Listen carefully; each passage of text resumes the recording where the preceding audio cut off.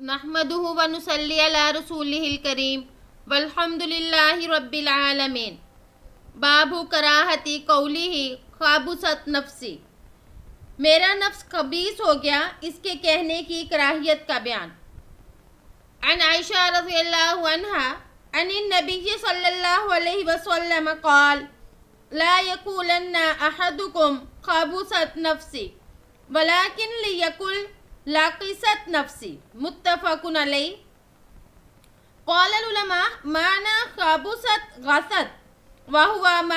लाकिसत वलाकिन कारिहा लफ्ज़ल खुब्स हज़रत आयशा रज़ियल्लाहु अन्हा से रिवायत है कि नबी करीम सल्लल्लाहु ने फरमाया तुम में से कोई शख्स ये न कहे कि मेरा नफ्स खबीस हो गया, लेकिन ये कहे कि मेरा नफ्स गाफिल हो गया।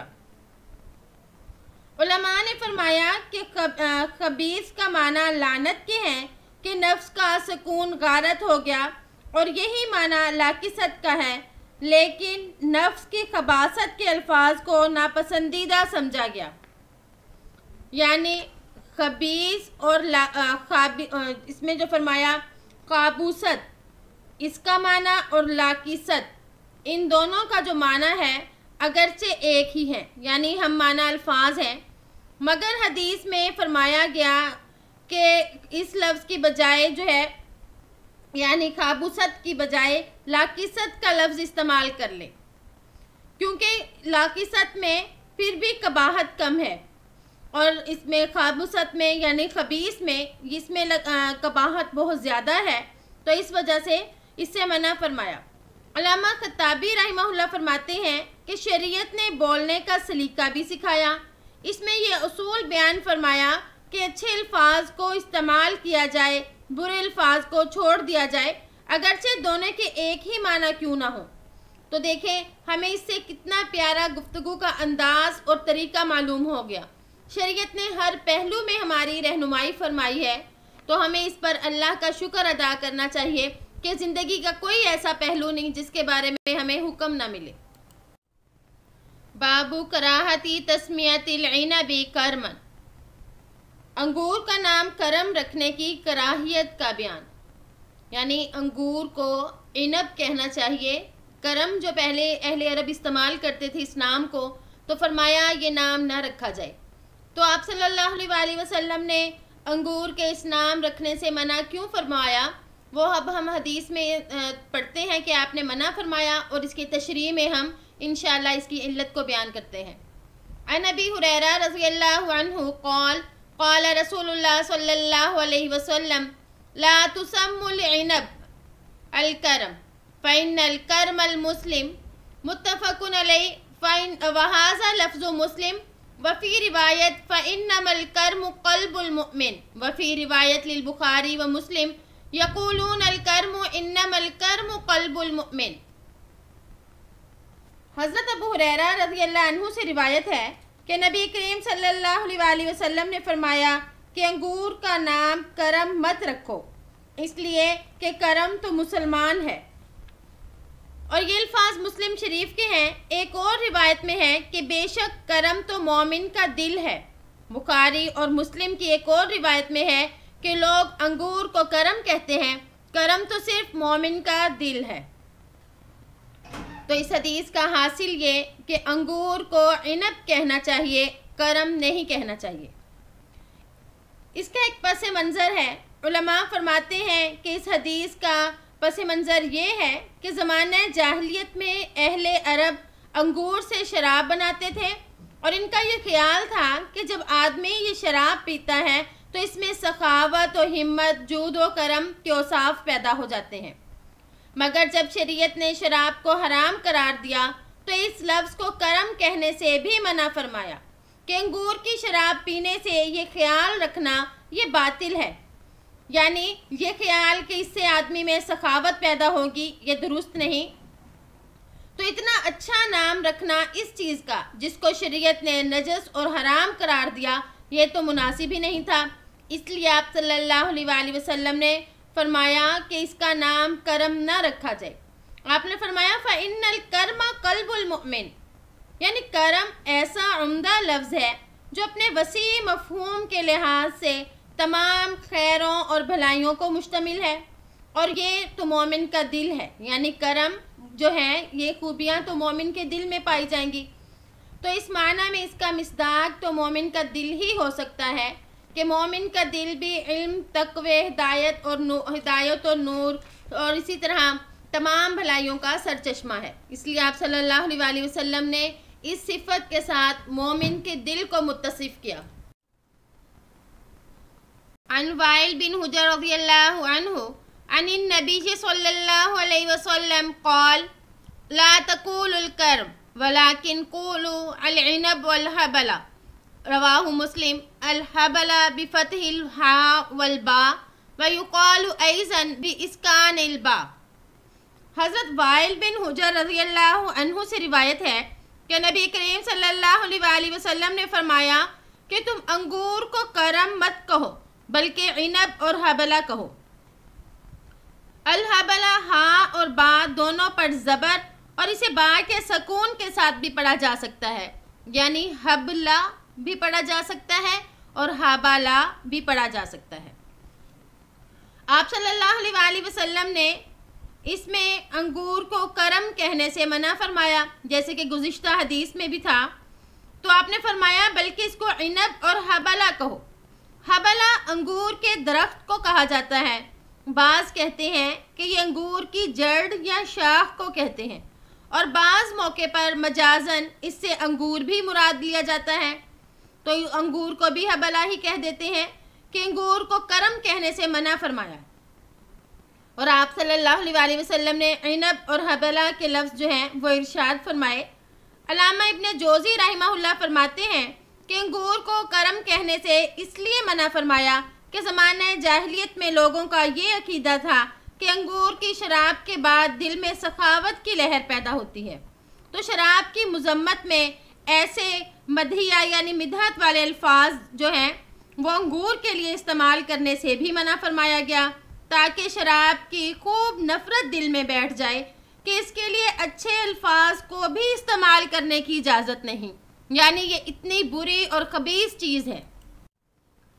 बाबुन वसफ़ी महासिन रजुल इल्ला इला ज़ालिका लिगरजिन व नहवी। किसी आदमी के सामने औरत के औसाफ बयान करने की ममानियत, मगर ये कि किसी शर्य मकसद, मसलन निकाह वगैरह के लिए इसकी ज़रूरत हो। तो इसमें ये बयान किया कि बिला वजह जो है, किसी औरत के हुसन को या उसकी औरत के खदोखाल को किसी दूसरे के सामने बयान न किया जाए।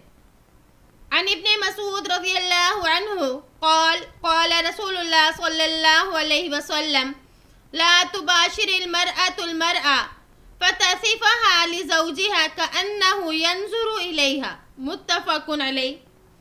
हज़रत इब्ने मसऊद रज़ी से रिवायत है। फरमाते हैं कि नबी करीम सल्लल्लाहु वसल्लम ने फरमाया, कोई औरत दूसरी औरत से मुबाशरत ना करे कि फिर वो इसकी खूबियाँ अपने शोहर के सामने इस तरह बयान करे, गोया कि वो इसको देख रहा है। इसमें फरमाया, ला तुबाशिरु तो मुबाशरत ना करे तो इससे मतलब है कि दो जिस्मों का बाहिम मिलाप या सिर्फ़ देखना भी।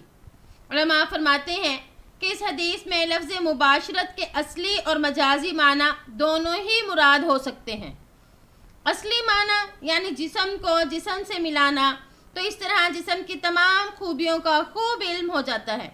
और मजाजी माना ये कि किसी की तरफ़ देखना। तो इस मुबाशरत से मकसद ये है कि जिसम की खसूसियात, यानी गुदाजपन खूबसूरती वगैरह को देखकर फिर अपने शोहर के सामने उसे बयान करना। तो इस हदीस में इसकी मजम्मत और इस हरकत को इंतहाई मायूब फरमाया जा रहा है और इस हरकत में बेशर्मी और बदखलाकी है। बल्कि इसमें खतरा भी है कि इसका शोहर ऐसी अजनबी औरत के जिसम की कशिश और ख़ूबसूरती को सुनकर इसको अपना ले और इस औरत को छोड़ दे, वरना कम अज़ कम उस, वो गंदे ख्यालात में तो ज़रूर मुब्तला हो जाएगा। और ये औरत उसको गंदे ख्यालात में मुब्तला करने का ज़रिया बनी तो इस तरह से इस औरत को भी गुनाह होगा। बाबू कराहती कौल इंसान अल्लाहफ़िरली इन शिता बल यजजिम बितलब बाब बयान में कि इंसान का इस तरह कहना मकरू है कि अल्लाह, अगर तू चाहे तो मुझे बख्श दे, बल्कि यकीन के साथ अल्लाह से दरख्वास्त करे। यानी जब दुआ मांगी जाए तो पूरे यकीन के साथ दुआ मांगी जाए।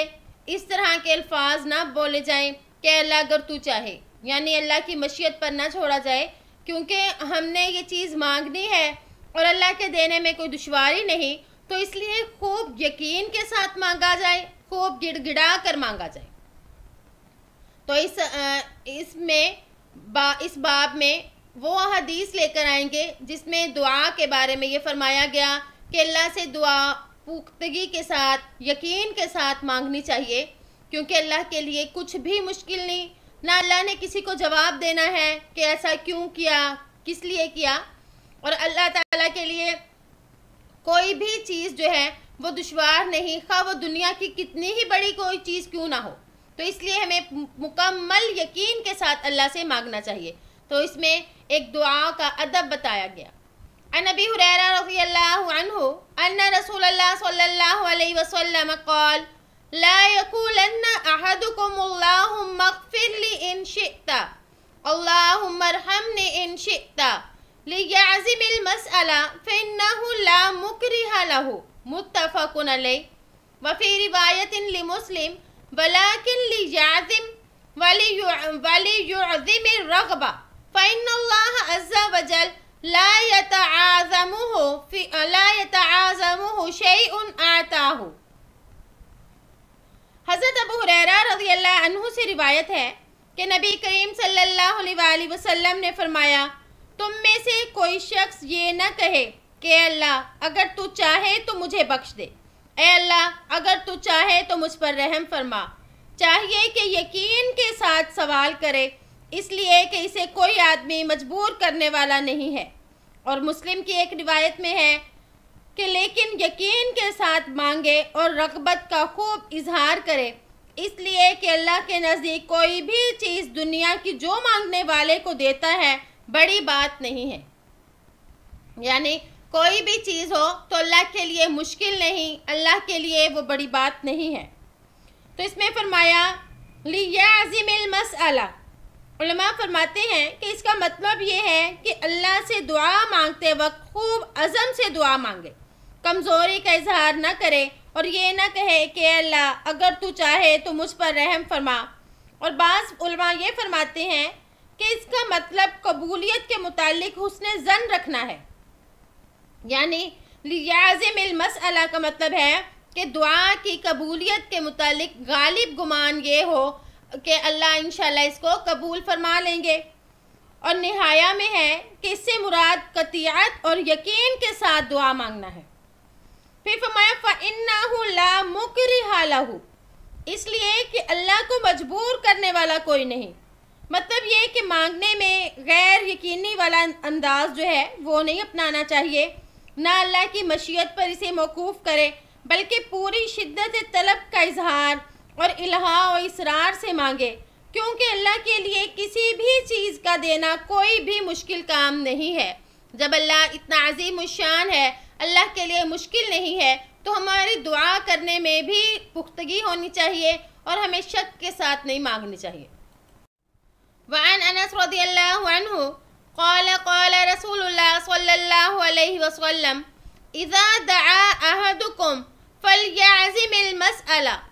वला यकूलन्ना अल्लाहुम्मा इन शिअता फ़अतिनी फ़इन्नहु ला मुस्तकरिह लहु मुत्तफ़क़ुन अलैह हज़रत अनस रज़ी अल्लाह अन्हु से रिवायत है कि नबी करीम सल्लल्लाहु अलैहि वसल्लम ने फरमाया जब तुम में से कोई शख्स दुआ करे तो चाहिए कि अज़म और यकीन के साथ सवाल करे।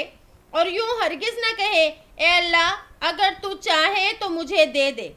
इसलिए कि कोई अल्लाह को मजबूर करने वाला नहीं है। इसमें फरमाया, फल याजिम मसला यानी, जब अल्लाह से दुआ मांगे तो कामिल यकीन के साथ दुआ मांगनी चाहिए। अल्लाह की मशीयत पर मौकूफ़ करना ये मना है क्योंकि इस सूरत में बेनियाजी का इजहार होता है और बंदा तो हर हाल में ही न्याजमंद है। यानी अल्लाह, अगर तू चाहता है तो कर दे, नहीं चाहता तो कोई बात नहीं, ना कर। बल्कि हमें तो हर वक्त अल्लाह से मांगने की ज़रूरत है। हम तो बेनियाज हो ही नहीं सकते। फिर फरमाया यानी यूँ हरगिज ना कहे कि अल्लाह तू तू चाहे तो मुझे दे दे। और इब्न अब्दुल बर रही फरमाते हैं कि किसी को इस तरह दुआ मांगना जायज़ नहीं है खा अमूर दीनिया के मुतालिक हो या दुनिया के मुतालिक। क्योंकि इस तरह कहने में इस्तेगना पाया जाता है और ये इस्तेगना अल्लाह के साथ मुनासिब नहीं। यानी हम लोगों से तो बेपरवाह हो सकते हैं, लेकिन ऐसा नहीं हो सकता कि हमें हम अल्लाह से बेपरवाह हो जाएँ। अस्तफ़िरुल्लाह तो इसलिए इस तरह के अल्फाज से मना फरमाया। तो इन हदीस में दुआ का अदब बताया और दुआ के बारे में जो चीज़ें मना थी, उनको फरमाया कि हमारी दुआएँ किस तरह से नहीं होनी चाहिए। अल्लाह ताला से दुआ है कि अल्लाह ताला हमें जिन कामों से मना फरमाए, अल्लाह पाक हमें उनसे मना होने की तोफ़ी भी अता फरमा दें और हम खुद भी कोशिश करें कि इन बातों से रुक जाएँ। उम्मीद है कि आपको आज का सबक समझ आ गया होगा। अस्सलाम वरहमल वर्का